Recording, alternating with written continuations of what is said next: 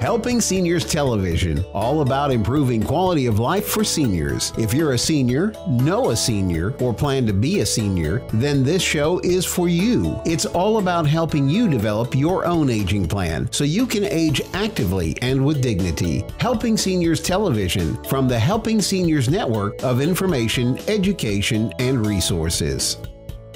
I'm Kerry Fink with Helping Seniors of Brevard. It's such a pleasure to join you today for Helping Seniors Television. I get the privilege of sitting in for our founder and president, Joe Steckler, uh, and uh, to have a really uh, interesting discussion today. We're going to talk about hearing and the things that you can do to hear like you've always wanted to be able to hear. And uh, I'm so honored to have in the uh, studio with us John Roberts. John is the founder of the Palm Bay Hearing Aid Center. And thank you, John, for being here today and coming in to talk to us about the advances. I guess uh, we were talking a little bit before the camera was rolling. There are some incredible advances and things that are now available to help you as you uh, seek to get the best hearing that you can. So, welcome to the show. Thank you, Kerry. So, we were talking before the show that you were originally from Michigan, but you came to uh, you came to Florida many years ago, and the climate agrees with you. Yes, it does it's much better than the snow.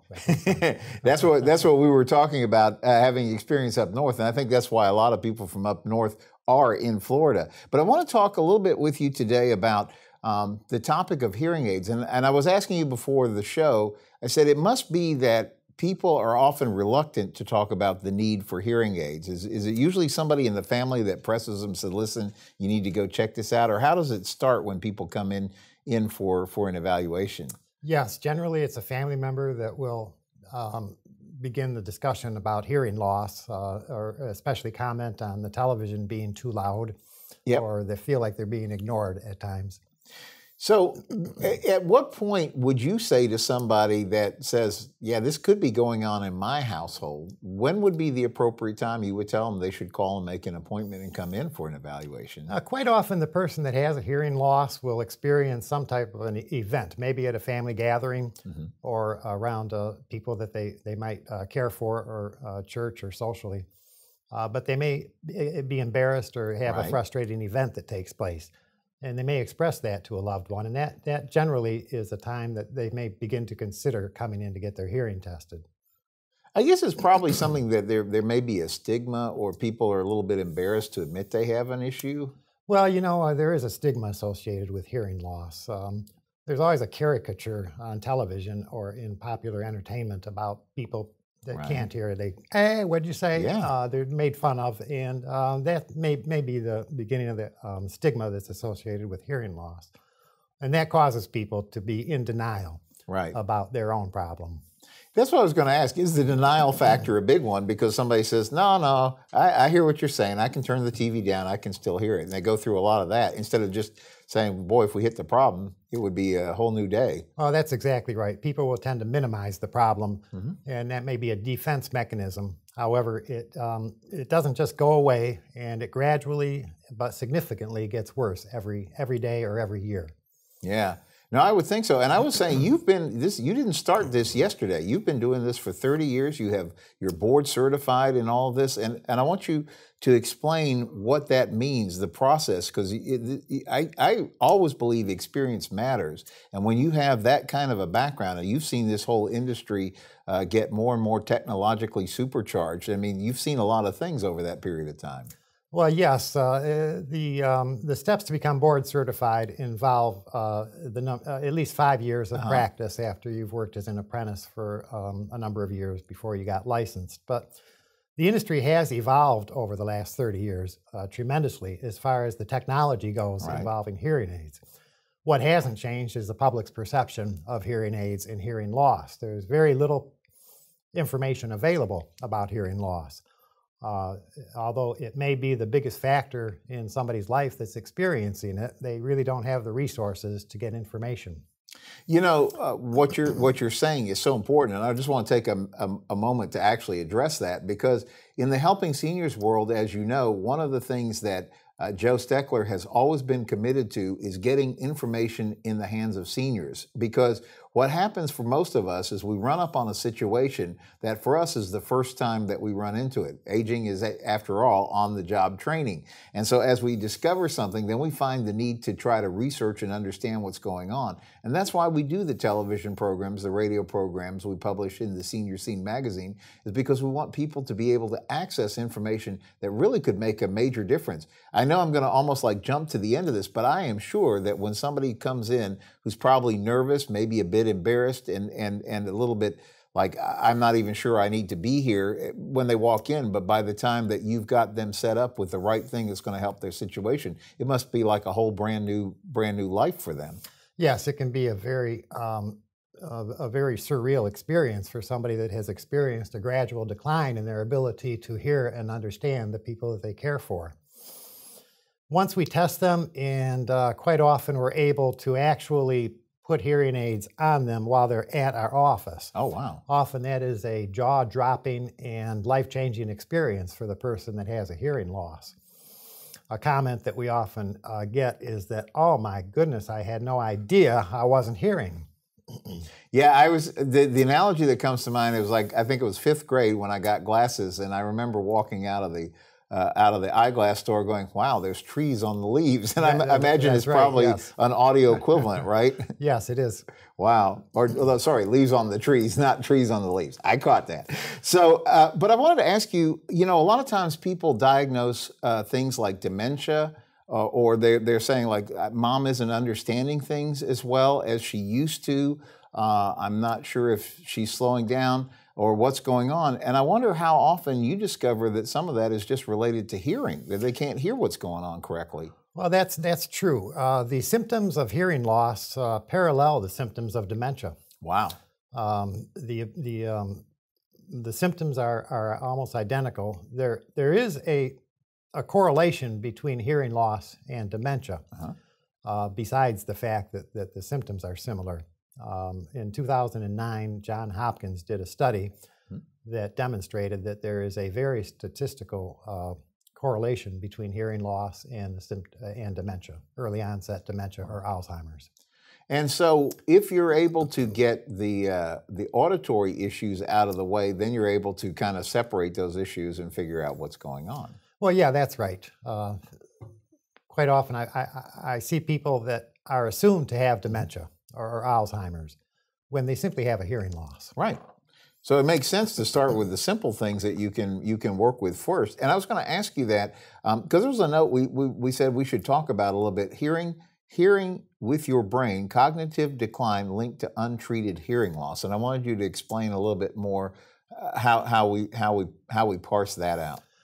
Uh, well, the, uh, the the the part about hearing with your brain is simply the way that we do almost everything else. Mm-hmm. That the, the body's uh, sending signals up to up to the brain, and then the, the brain uh, takes the signals and deciphers them or interprets them mm-hmm. as needed. Um, as the uh, as the hearing loss may advance or, or get a little bit worse, the brain is not receiving the signals that it needs in order to process speech properly. Okay. And uh, that that uh, reduction in the ability to understand is often uh, noted by uh, excessive repeating or somebody that uh, seems not to be paying attention. Mm-hmm. mm-hmm. And I was asking you also before the show started, I said, is as we get older, what is it that actually happens to us typically and you were giving an explanation. I said, is it a physical process or is it a is it something that in our interpretation of it? But what is it that actually causes us to, as we advance in age, we are likely to say we might need to take a look at some help for hearing? What is it that causes it? Yeah. Well, there is a natural uh, hearing loss, age-related hearing mm-hmm. loss that some of us will experience more than others. There can be a genetic predisposition to have hearing loss. Uh, often medications that we take are, are contributing to a really? hearing loss. Wow. Aspirin or uh, other uh, blood thinning are, are, notorious for hearing loss, but uh, there's uh, hundreds of medications that can contribute to it. And uh, noise induced hearing loss is very common, of course. We live in a noisy world. Yeah, I was going to ask that. What about we're kind of we talk a lot about baby boomers, and in this county, folks, we talk about the fact that one in four people in Brevard County is over the age of 65. One in four, and then actually, if you want to use the AARP definition, it's actually one out of two. So we have a lot of uh, a lot of aging going on in Brevard County, and some of that aging is what we call baby boomers. And we all grew up in an era of rock and roll, and you know our parents were always, "You need to turn that down. You're going to lose your hearing." How how often or how is that true? Is that myth, or how do you what do you see in that world? Uh, as far as how uh, rock and roll music may be affecting your hearing.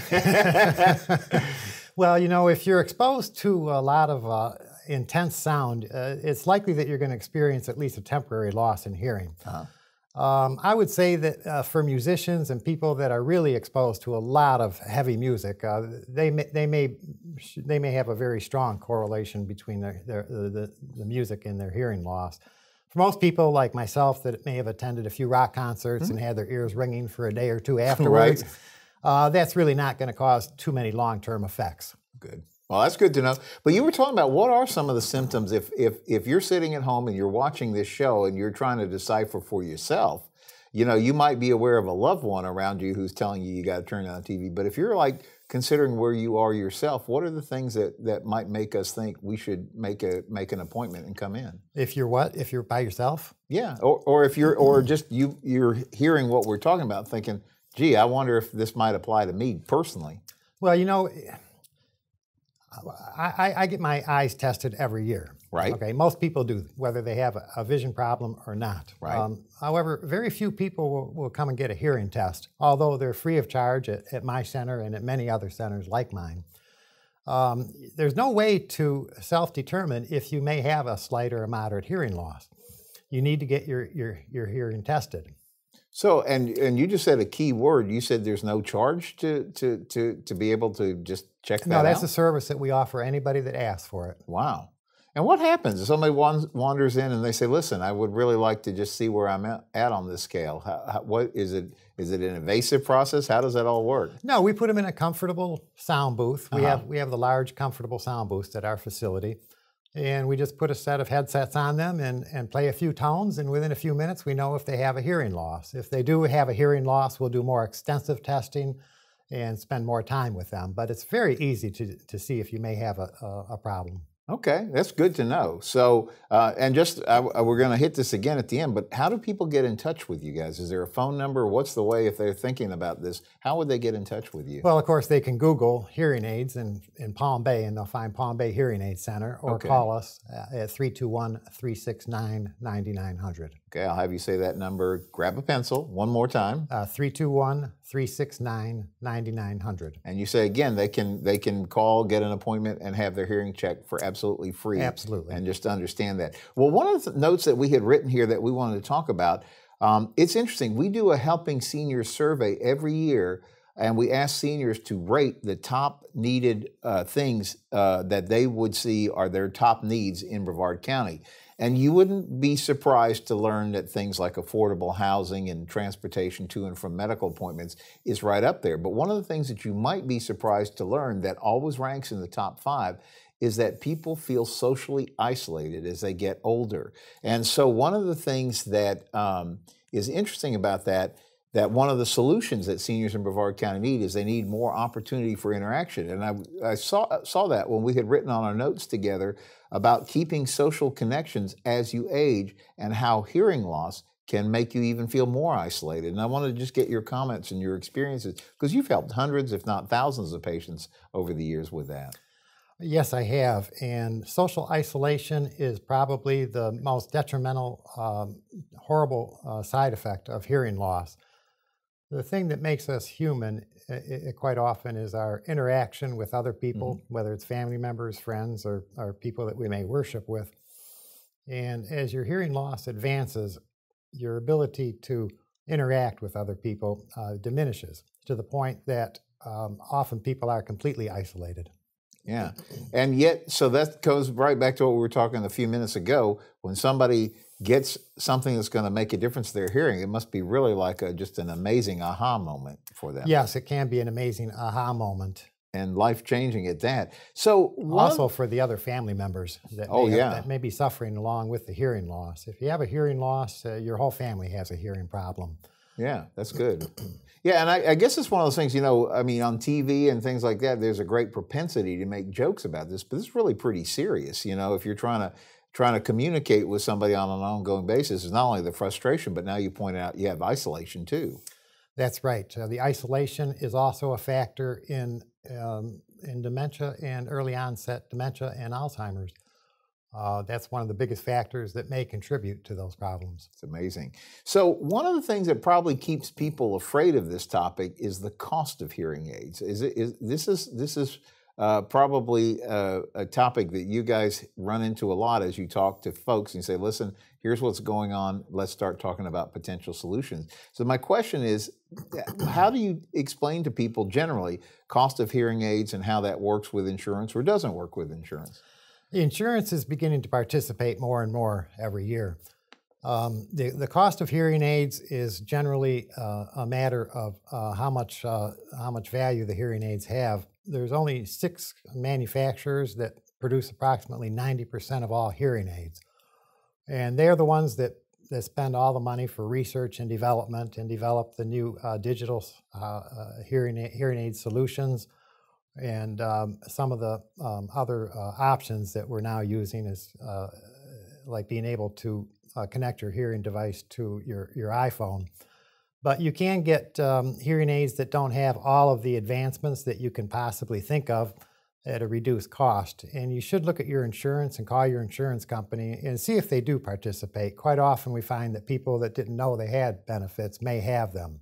But when you come into our office, we'll sit down and, and try to figure out what your situation is and whether or not we can find a solution for you that would be affordable and effective.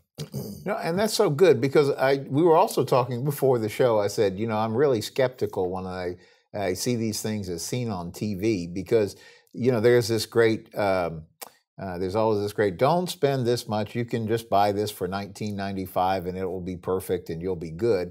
And uh, we've watched relatives, this is a joke in our house, we've watched relatives who've bought different things like that. And you know where they all, they all wind up in the kitchen drawer because they just flat don't necessarily work the way people hope they would work.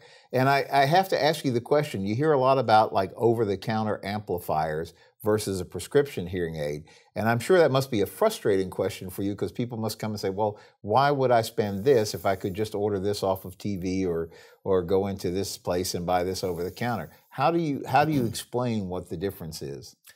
Well, uh, amplifiers or over the counter hearing devices are, are fine for people that, that have good hearing. And, uh-huh. and they, they maybe want to be able to hear the television at a reduced volume level, mm-hmm. or hunters may want to hear animals scurrying about. Those are excellent devices for that.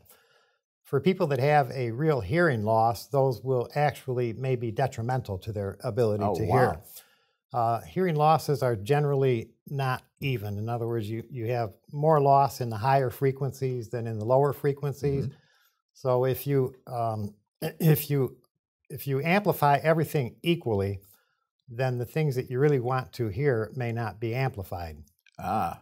Um, for instance, if you're in an automobile and everything is amplified equally, you're, you're just going to hear motor. the road noise, and right. you won't be able to understand uh, your spouse in the in the same okay. vehicle. That's a that's an example, um, but uh, each hearing loss is unique and uh, may have different uh, solutions. So one of the things we talked about, you, you touched on this, uh, you said high frequency hearing loss is actually the most common type that, that I guess you, you you, you find that you're treating. Is that, expand on that or explain that a little bit?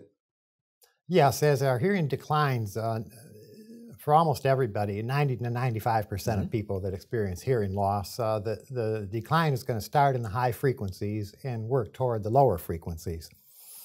Um, the nature of the design of our cochlea, our inner ear, is, is uh, the cause for that. The, the part of the, the hair cells that are responsible for interpreting different pitches, the most vulnerable are in the higher frequencies. Mm-hmm. However, just uh, having a high frequency hearing loss doesn't mean much until it's been examined and we know what the depths are and exactly which frequencies are most affected. Okay, and then the other thing that we hear a lot about is that is it tinnitus where you have like a ringing or a buzzing in your ears, or Yeah, tinnitus or tinnitus uh, can um, can be a ringing, a buzzing, a roaring, or uh, chirping. There's a lot of different types of uh, Oh, sounds wow. that people experience, but it's a subjective experience. So uh, the person themselves can only hear it.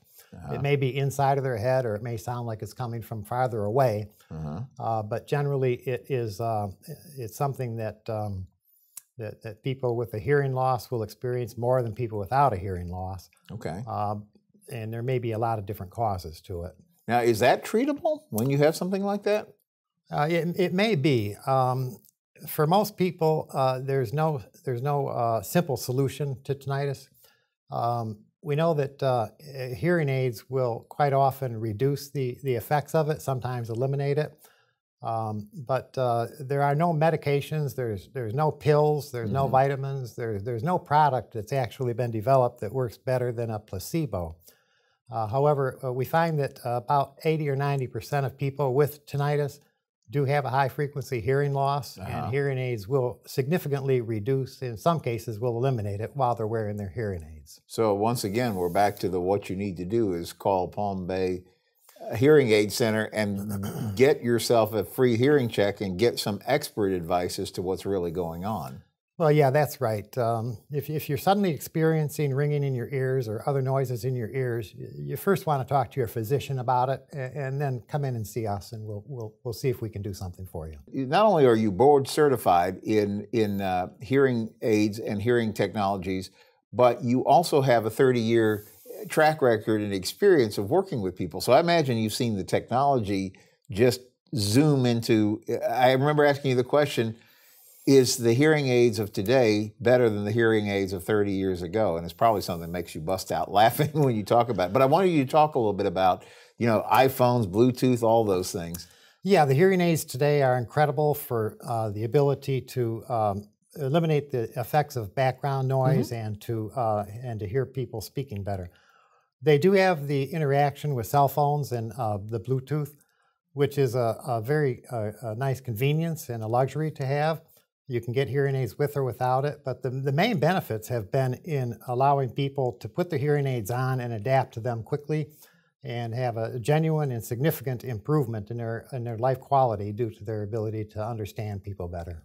So when we talk about having the ability to connect to your iPhone and things like that, what does that mean? That means like when you take your call, it's Yeah, that means that uh, when your phone rings, you'll hear uh, a notification in your hearing aids, and you can Wow. just begin talking to people. The receiver is built right into the hearing aids. Wow. So you so you're not have to having pick your phone up. Uh, It can be 40 or 50 feet away from you, and you can still interact with it. that seems like it has some safety ramifications too, because you're not going to yeah, have to that's hop up out of your chair and try to run over That's and right, figure right. out where you left your phone. That's right. Or if you're driving, yeah. Yeah, or if you're driving, and then too, right? Because with the technology now, the the you're getting a superior experience in terms of the what it's able to do for helping you. Well, yeah, that's the big improvement that we've seen in hearing aids. Um, your voice will sound natural. Before the the recent advances in technology, people's voices sounded uh, almost objectionable with hearing devices. That was one of the biggest hurdles that we had Mhm. to overcome. But now their voice will sound natural. Hearing aids don't squeal the way they Yeah, I was going to. ask you because I remember sometimes you say, "Oh, wait a second, and then somebody's fiddling with it, and then you hear that awful squealing, which but which is difficult for the person listening, but probably difficult for the person who is hearing that in their ear too, maybe. Yeah, that would be uh, that's quite an obnoxious sound to have right inside of your ear. Uh, but recent developments have uh, almost completely eliminated that in, in most hearing losses. That's good. So, uh, if we're going to like kind of wrap this topic up, I, from all the things that you've described, there's so many things to be hopeful for that you can improve a situation if you have it. That it's uh, maybe even more cost effective than ever before, and possibly even your insurance may be more prone to be of value in resolving that. It seems like there's no downside to giving you guys a call and just coming in to get to get to get an exam. Well, if there's one message that people get out of this, it's that uh, that there's no charge to come in and talk to us and uh, find out if you may have a problem or if your problem can be improved. So, if people want to get in touch with Palm Bay Hearing Aid Center, how do they do it? I know we covered it once before, but if somebody just tuned in late, let's give them the phone number. Uh, yeah, they can call us at 321 369 9900. And for those of you who are grabbing a pencil as we're talking about this, one more time 321 369 9900. And you have a great website. I was actually looking at it before we uh, recorded the show yesterday. You have a lot, there's a lot of resources there. I saw that you have um, like a whole tab that has, looks to me like has articles and videos or things that you. Yeah, that's right. If they come to our website, then they, they can get quite a bit of information and referrals right there. And the website is? PalmBayHearingAids.com. So PalmBayHearingAids.com. Well, thank you. Uh, John Roberts, for being with us on today. It's really, uh, really been a, a, an interesting and good dialogue about all the things related to hearing. And thank you, viewer, for joining us today. And I hope this has been helpful for you as well. And make an appointment now. Call and get your ears checked. I'm Kerry Fink for Helping Seniors TV. I'm Joe Steckler, president of Helping Seniors of Brevard. I need your help to tell me the most important issues that our advocacy group can focus on for you that will help seniors. The survey form is on our website, helpingseniorsofbrevard.org, or look for our survey of Senior Scene magazine. Questions or more info? As always, you can call our information hotline at 321 473 7770. That's 321 473 7770. We'd love to hear from you, helping seniors of Brevard. Hi, I'm Dr. Michael Mandisi, and I'm proud to be associated with Helping Seniors of Brevard. I really admire the work that uh, Joe Steckler's been doing. His heart is all in. He has put his his it's been his life mission for the past many years to to help seniors in this in this community. So if this is the type of thing that the seniors have a nice hotline that they can call if they need an expert in any field, in the medical field, in the legal field, um, transportation, housing. Uh, it certainly has been a whirlwind of information for these people, as well as it's a nice educational tool, be it through their uh, website, through the, uh, the radio shows, as well as some TV programs that have been filmed, which uh, I have been given the pleasure of doing a few myself.